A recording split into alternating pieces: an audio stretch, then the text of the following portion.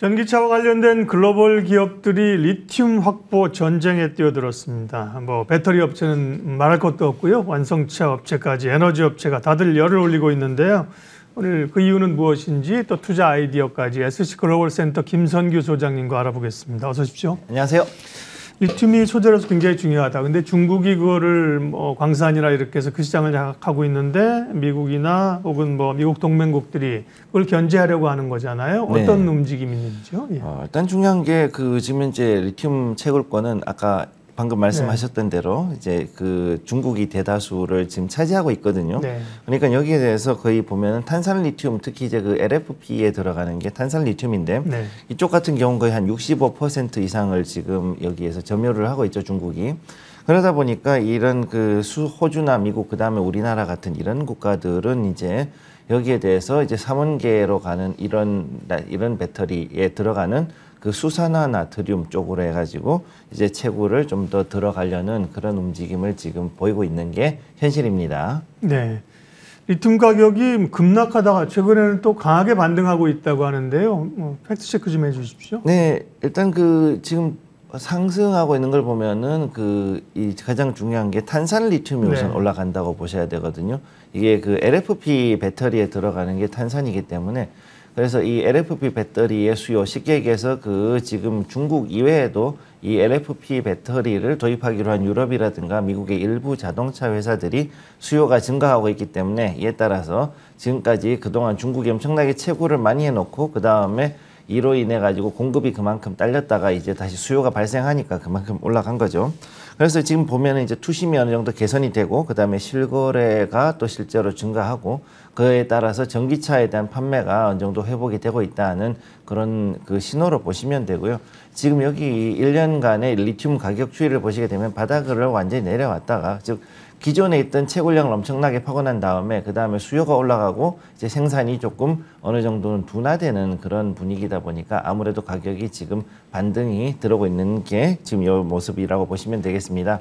그래서 지금 현재 앨버말이라든가 중국의 간펑 같은 이런 그 주요 리튬 주들이 앞으로 좀 올라갈 걸로 보이고 이에 따라서 우리나라도 LG화학이나 이제 포스코 퓨처엠이라든가 아니면은 그 코스모화학 같은 이런 그 리튬에 직접적인 관련이 있는 종목들을 앞으로 조금 주목을 하실 필요가 있겠습니다. 지금 말씀하신 건 탄산 리튬 가격이잖아요. 네. LFP에 주로 쓰는 거고 우리는 수산화 리튬인데 수산화 리튬 가격도 지금 탄산 리튬 가격처럼 그만큼 변동성을 보이고 있습니까? 비슷하긴 한데 네. 약간 그래도 좀 덜하다고 보시면 네. 되고요. 지금 아직까지는 그 중국에서 리튬이 LFP 배터리를 너무 많이 이제 쓰다 보니까 네. 거기에 비해서 상대적으로 이제 그 수산화 리튬은 아직까지는 회복은 하고 있는데 조금 덜 움직이고 있다고 보시면 되고요. 그리고 여기에 같은 경우는 지금 이 1년 정도 저 이 기간을 두고 봤을 때 제가 그때 한 말씀드렸지만 이렇게 지나치게 많은 채굴 하게 되면 분명히 가격이 반등이 들어올 수밖에 없다 그랬잖아요. 네. 그러니까 지금 이제 이 상황이 서서히 그렇게 오고 있다고 보시면 되겠습니다. 관련해서 이제 리튬 관련된 주식시장에 2차 전지 관련 기업들이 있고요. 원자재로서 리튬을 볼 수 있을 텐데 리튬 가격이 이제 밑에서부터 반등하게 되면 원자재에 직접 투자하는 것도 지금 괜찮은 타이밍인가요? 어, 나쁘지는 않은 시간인데 네. 중요한 건 이제 리튬 같은 경우는 보통 이 개발하는데 조금 시간이 걸릴 수는 있습니다. 네. 근데 중요한 건 뭐냐면 일반적으로 신규로 뭐 어떤 그 광산에 어떤 광물이든지 간에 개발한다 그러면은 최소한 20년 이상 정도가 보통 소요가 되거든요. 즉 이게 개발부터 해가지고 상용화까지 기간이 한 20년 정도가 들어가는데 이에 비해서 지금 미국이 하고 있는 그 폐광의 재개발 같은 이런 방식으로 가게 되면은 그 80% 이상 기간을 단축을 할 수가 있습니다. 그래서 짧으면은 3년, 길면 한 4년 안에 이 어느 정도 좀 생산성이 있는 그런 광산 개발이 가능하다는 게 좀 중요한 포인트고요. 이에 따라서 2025년도에 보면은 이 폐배터리하고 그다음에 리튬 광산 개발이 거의 일치하는 그런 시점에 와 있습니다. 그래서 이때가 되면은 거의 상용화가 되는 그 신규 리튬 광산 그다음에 폐배터리의 재생 이 두 가지가 맞물려 가지고 상당히 그 2차 전지가 강하게 올라갈 수 있지 않을까 이렇게 보고 있고 단 여기에서 이제 봤을 때 이 원자재 관련된 주 특히 이제 그 리튬에 관련된 종목들은 지금부터는 조금씩 저가로 분할 매수하는 것도 나쁘진 않은데 단 아직까지 조정 중인 종목들이 있기 때문에 이런 종목들은 좀 피하셔야 될 것으로 보입니다. 글로벌 리튬 대전이 벌어지고 있다 이렇게 말씀드렸는데요. 기업별로 보겠습니다. 2차 전지 업체나 소재 업체들이 리튬을 확보하려는 것은 뭐 당연히 이해가 되는데요. 네. 미국의 포드는 자동차 완성차 업체잖아요. 네. 근데 이제 포드는 어떤 움직임 최근에 보면 뭐 공급 계약도 맺고 그 이유는 어디 있는 겁니까? 어, 일단 지금 그 미국 자동차 3사 중에서 완성차 업체 3사 중에서는 그래도 제대로 된 그 상용화되어 있는 그 전기차를 만든 게 포드다 보니까 네. 지금 이제 픽업 트럭이 있죠. F150 픽업이 이 전기 트럭이 나왔고 그다음에 또 이제 여기다가 Mustang Mach-E 같은 그런 머스탱에도 이제는 전기로 된 SUV로 이제 나왔으니까 이런 걸로 봤을 때 앞으로 그 전기차의 수요 앞으로 늘어날 거라고 보는 거죠. 그래서 이제 포드 같은 경우는 이제 그 2026년까지 연 200만 대 정도의 전기차를 생산하려고 목표를 가지고 있고 또 이 때문에 이제 Albemarle이 이 포드에다가 이 2030년까지 해서 수산화 나트륨을 한 10만 톤 정도를 공급하겠다. 즉 한 300만 대 정도 생산할 수 있는 그런 그 리튬을 공급하겠다라고 이제 계약을 하려고 하고 있습니다.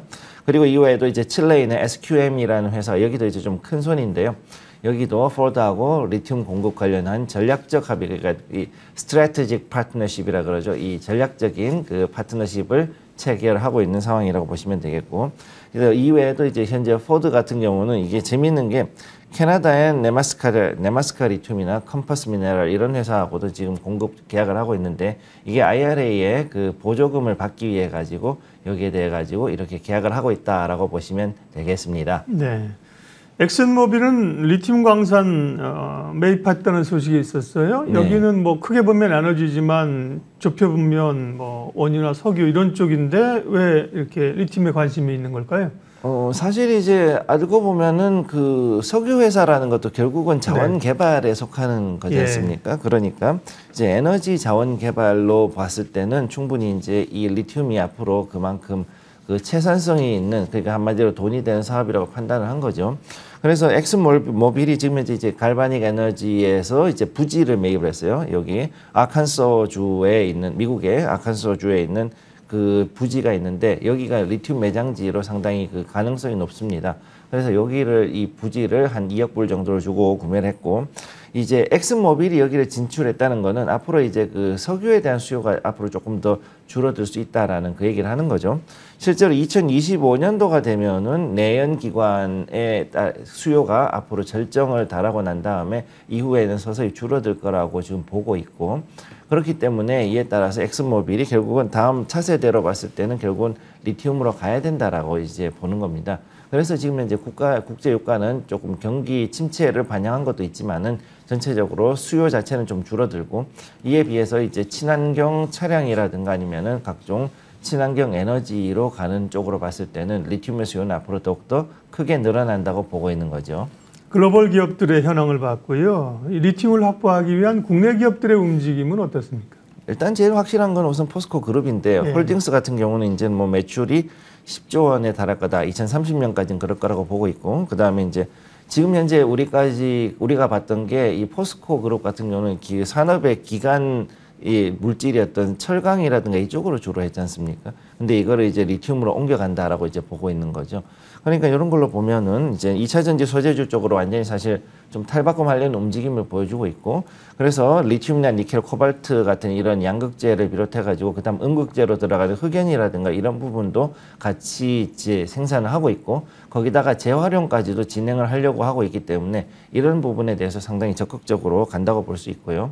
그다음에 지금 LG 에너지 솔루션 같은 경우도 이제 그 북미에서 보조금 즉 IRA 보조금을 받기 위해 가지고 북미 쪽에 리튬을 확보하기 위해서 호주 쪽 업체라든가 이런 데 지분을 좀 투자를 하고 그래서 여기에서 계속 공급을 받으려고 하고 있는 걸 볼 수 있습니다. 예.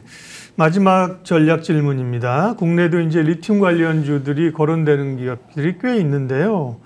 사실은 변동성도 있고요. 옥석 가리기 전략 말씀해 주십시오. 일단 중요한 거는 확실한 계약을 들고 있는 업체를 우선 봐야 되는 거죠. 네. 지금은 예, 리튬 광산, 그 다음에 염호, 그 다음에 이제 그 채굴권 이 셋 중에 하나 무조건 현재 들고 있는 업체를 중심으로 보셔야 되고 만약에 그렇지 않은 경우에는 조금 조심을 하셔야 되는 게 어, 한 3주 전인가요? 그때 이제 그 2차 전지 때문에 테마로 굉장히 들끓었을 때 그때 하루에 그 상한가가 19개가 나왔던 적이 있었거든요. 근데 그 중에서 한 12개 정도가 이게 그 2차 전지, 그 다음에 2차 전지 소재 관련 테마들이 엄청나게 튀어 올랐었거든요. 그러니까 정식 계약이 아닌 그냥 MOU 체결 아니면 뭐 이제 그냥 우리가 광산 개발에 들어가겠다 아니면 그 회사도 아니고 그 회사에 있는 자회사가 뭐 여기에 대한 개발을 한다 이런 제목 가지고서는 갑자기 그 상한가로 올라갔던 그런 종목들이 좀 있습니다. 그러다 보니까 그런 그 테마성으로 움직이는 시총이 작은 종목들은 좀 경계하시고요.